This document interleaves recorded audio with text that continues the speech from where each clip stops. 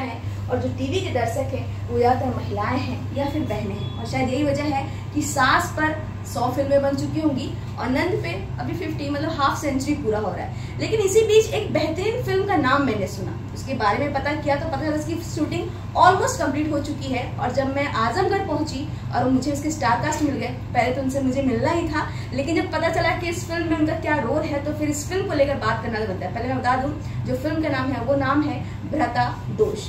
अब इसका क्या मायने हैं? ये नाम कैसे आया?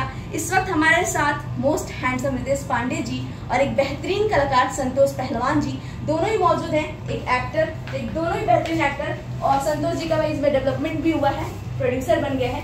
तो सबसे पहले तो सर कैसे हैं आप? अब ठीक है आप? बहुत बहुत मिस किया आपके दर्शकों ने हुए हाँ उन्हीं के आशीर्वाद से मैं आप सभी के बीच में स्वस्थ और तंदुरुस्त बैठा हुआ हूँ।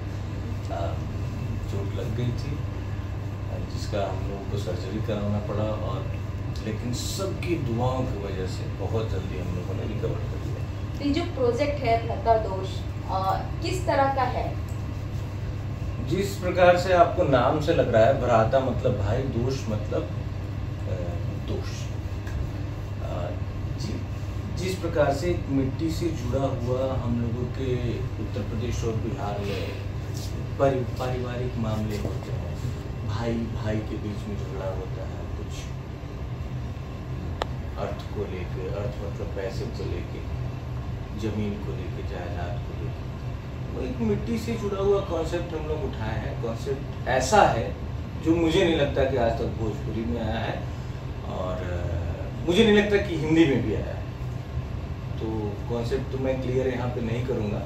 लेकिन मैं ये दावे के साथ कह रहा हूँ कि आप अगर इस फ़िल्म को देखेंगे तो आप खुद को रिलेट करेंगे इस स्टोरी से इस फ़िल्म के मेकिंग से।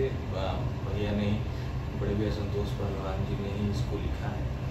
डायरेक्ट किए हैं अवधेश मिश्रा जी। क्या बखूबी एक्टर तो वो कमाल के हैं। मैंने पहली बार उनके डायरेक्शन में काम किया। बहुत कुछ सीखने को मिला उनसे। काफ़ी स्ट्रिक्ट भी है। डाटा क्यों डाटा आपको। नहीं नहीं डांटे तो नहीं। डांटे नहीं मैंने वैसा मौका ही नहीं दिया उनको कि वो डांटे। हाँ ये है कि स्ट्रिक्ट कुछ जगहों पर बहुत अच्छा भी होता है कि लोग अनुशासित रूप से कार्य करते हैं अपना अपना काम करते हैं। तो कुल मिला के हम लोगों ने एक अच्छा सिनेमा बनाया है। ये खुद को तसल्ली। और अभी पोस्ट प्रोडक्शन का काम चालू हो रहा है। और ईश्वर से यही प्रार्थना है कि जिस उद्देश्य को लेके हम लोग ये पिक्चर बनाए हैं वो सार्थक हो लोगों तक पहुँचे। और जिस प्रकार से आपने अभी कहा कि भोजपुरी सिनेमा वो टीवी तक सीमित रह गया है तो हम लोग का ये प्रयास है कि सिनेमा हॉल में लोगों को लाया जाए। हम लोग प्लान कर रहे हैं कि मॉल्स में भी इस फ़िल्म को लगाया जाए। और ये फ़िल्म भोजपुरी के साथ साथ हिंदी में भी आए इसकी डबिंग जो है भोजपुरी में भी होगी और हिंदी में भी होगी ताकि जो हमारे हिंदी भाषी जितने भी पूरे भारतवर्ष में जहाँ भी है भारत से बाहर हैं और उसका हम लोग सब टाइटल वगैरह इंग्लिश में चलाएँगे जो हमारे जो हिंदी भी ना समझ पाए तो उनके लिए। उनको इंग्लिश में समझ में आ जाए। आप समझिए हम लोग इस इस लेवल का कंटेंट बनाए हैं। हम लोग का सोच एक शहर एक राज्य नहीं है। नहीं हम लोग का टारगेट पूरा पैन इंडिया है। और क्योंकि हमारा ये कल्चर का बात है जो हम लोग बनाए हैं ये हमारे कल्चर संस्कृति और सभ्यता का बात है। हम चाहते हैं कि जो हमारा ये कल्चर है संस्कृति है सभ्यता है ये लोगों तक जाए। और लोगों के मन में ये हो कि भोजपुरी ऐसा भी बनता है। भोजपुरी सिर्फ़ वैसा ही नहीं बनता भोजपुरी पिक्चरें ऐसी भी बनती हैं। हम लोगों का उद्देश्य यही है। अब आप लोगों का प्यार आशीर्वाद रहेगा तो ज़रूर हम लोग सफल होंगे खैर मेरे साथ एक्टर प्रोड्यूसर राइटर सर क्या इंटरव्यू आपका?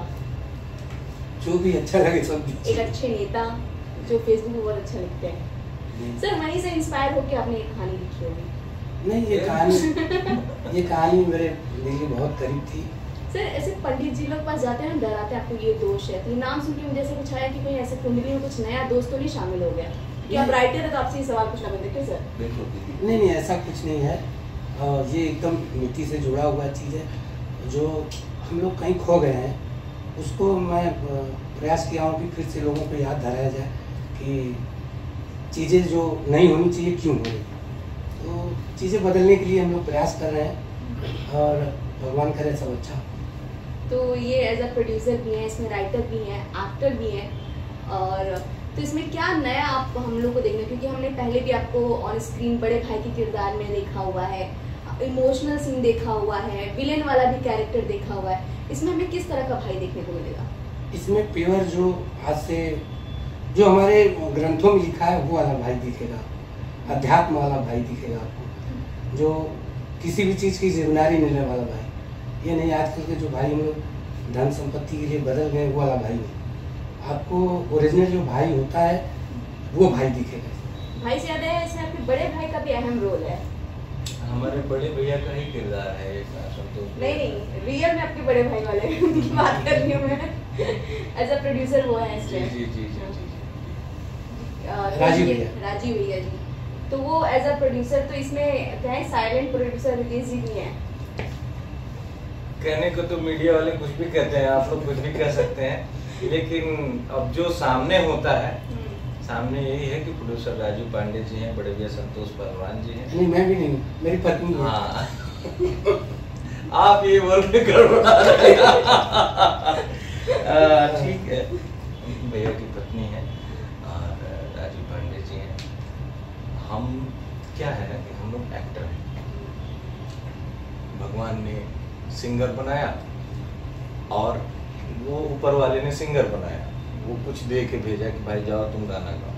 और यहाँ के जो भगवान है, हमारे जिनको जनता जनार्दन बोलते हैं, जनार्दन मतलब भगवान साक्षात विश्व उन्होंने एक्टर भी बना दिया कि जाओ भाई तुमको एक्टिंग भी करना है। अब हम लोग किसी तरीके से एक्टिंग कर रहे हैं, उनके उम्मीदों पे खरा उतरने की कोशिश कर रहे हैं। और उसी में एक्ट अगर हम प्रोड्यूसर भी रहेंगे कोई और भी काम हमारे जिम्मे रहेगा तो मेरा ध्यान भटकेगा। इसलिए हम चाहते हैं कि सिर्फ़ और सिर्फ़ हम एक्टिंग करें, कोई काम एक बार में एक ही करें। तो हम लोग का देखिए, जैसा कि भैया ने बताया ना कि जो ग्रंथों में लिखा है, भाई, वैसे भाई हैं तो हमारा जो सनातन का भाई, ये जो आज के डेट में जो मारपीट हो रहा है, ज़मीन के लिए, जायदाद के लिए, ये हमारा संस्कृति नहीं है। ये पाश्चात्य संस्कृति वेस्टर्न कल्चर ये बाहर से आया है। ये अंग्रेज़ और भी मुगल आए तो वो हमारा हमारा कल्चर ये रहा है कि एक भाई बन गया तो उस भाई का खड़ाऊ ला के सिंहासन पर रख दिए और वो खड़ाऊ चौदह वर्षों तक शासन किया। और मुगलों का ये ये रहा है कि वो एक दूसरे के राजा बनने के लिए अपने सगे भाइयों का कत्लेआम करते अपने बाप को जेल में डाल देना। तो ये सब कल्चर जो आज के डेट में है ना ये तो अंग्रेज़ों से और मुगलों से आया है भारत में। हमारा जो कल्चर है कि भैया हमारा राम जैसा है? या जो हमारा गाना है भैया हमारा राम। जैसा। तो एक भाई दूसरे भाई के लिए क्या नहीं न्यौछावर करता है?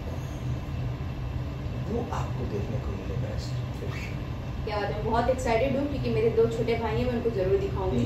फिर आते हैं कि सर शूटिंग कहाँ कहाँ पे हुई और कब तक ये हमारे बीच होगा शूटिंग पूरा ये बनारस का ही कॉन्सेप्ट है।